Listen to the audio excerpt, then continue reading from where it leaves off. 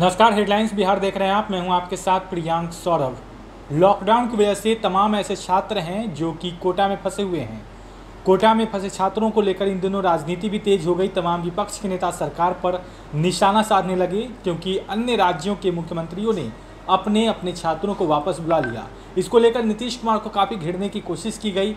वहीं अब एनडीए के नेता हैं बीजेपी के एमएलसी हैं सच्चिदानंद राय उन्होंने भी कोटा के छात्रों को लेकर कुछ कहा है। उन्होंने क्या कुछ कहा है पहले आप सुनिए।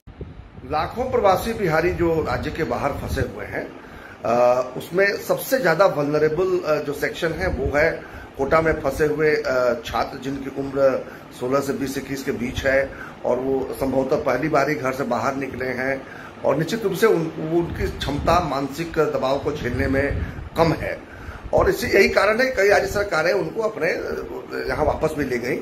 लेकिन मेरी समझ से लॉकडाउन के, इस पीरियड में इस पर ठोस निर्णय केंद्र सरकार को लेनी चाहिए और राज्य सरकारों को दिशा निर्देश देना चाहिए कि इन्हें किस प्रकार से वापस ले जाया जाए या इन्हें किस प्रकार की सहूलियत दी जाए?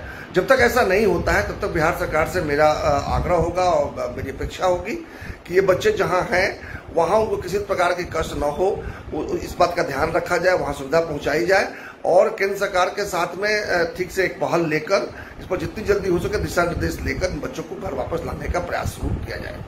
तो आपने सुना किस तरीके से सच्चिदानंद राय ने कहा है कि कोटा में फंसे छात्रों के लिए वो सरकार से अपील कर रहे हैं, क्योंकि उनके पास जो कोटा में जो छात्र हैं, उनकी उम्र कम है और उनके पास इस स्थिति को झेलने की अभी क्षमता नहीं है। ऐसे में उन्हें वापस लाना चाहिए। वो बिहार सरकार से इसके लिए बातचीत कर रहे हैं। क्या कुछ बातें होती है?